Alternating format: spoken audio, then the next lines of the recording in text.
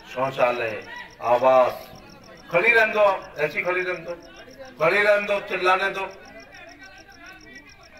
हमारी भी अभी हाल हो जाएगी। तेरे दिमाग में हाल ठीक हो जाएँगे।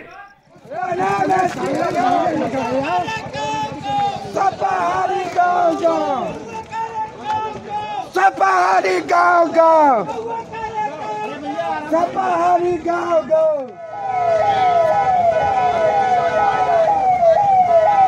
क्या हो गया? अरे हमला हुआ है। और, और ऊपर परे में परे हुए।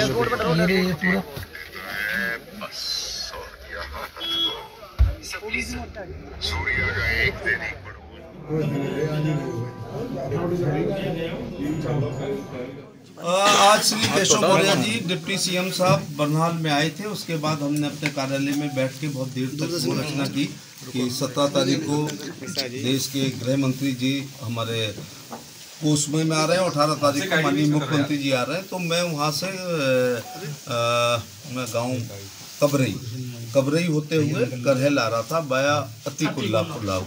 तो कबरई और अतीकुल्लापुर के बीच में लगभग साढ़े सात चालीस या पैंतालीस हुए होंगे। अंधेरे में खेतों में से लोग निकल के आए अखिलेश भैया जिंदाबाद के नारे लगा रहे थे और उसमें से एक आदमी ने ये कहा आ, कि मैं उमाकांत यादव नगला बदाऊँ तुम हमारे नेता के सामने चुनाव लड़ते हो जिन्होंने तुम्हें सांसद बनाया।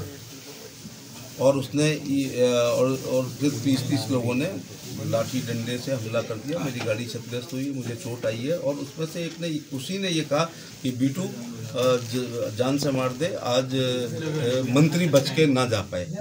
मंत्री बच के इसका चुनाव आज ही कराई दे रहा हूँ। और ये पहला अटैक नहीं है। मैं एक दिन नगला कुरियन जा रहा था तो गढ़िया चौराहे पर अटैक किया। इसको पीएससी ने और इंस्पेक्टर करहल ने अपनी आँखों से इस मंजर को देखा था। मैं कोशिश करता हूँ कि शांति से चुनाव लड़ें, लेकिन वो इस प्रकार से घेर रहे हैं, रास्ता रोक रहे हैं और ये ये रास्ता रुक के हुआ। ये आज शाम लगभग सात बज के पैंतालीस मिनट पर माननीय मंत्री जी, जो करहल विधानसभा से प्रत्याशी भी हैं कबरई से अतिकुल्लापुर की तरफ़ अपने काफिले के साथ आ रहे थे। तभी रास्ते में अतिकुल्लापुर के नज़दीक कुछ लोगों ने काफले पर जो है डंडे और पत्थर से हमलावर हुए और मौके पर सूचना मिलने पर सीओ करहल और इंस्पेक्टर करहल मौके पर गए। मौके पर शांति व्यवस्था बनी हुई है, कानून व्यवस्था बनी हुई है। माननीय मंत्री जी द्वारा जो तहरीर थाने पर दी गई, उसके आधार पर मुकदमा पंजीकृत कर मुकदमे में विधिक कानूनी कार्रवाई की जा रही है। ये लगभग 25 से लेकर 20 से 25 लोगों के विरुद्ध उन्होंने जो है ज्ञात लोगों के खिलाफ मुकदमा पंजीकृत कराया।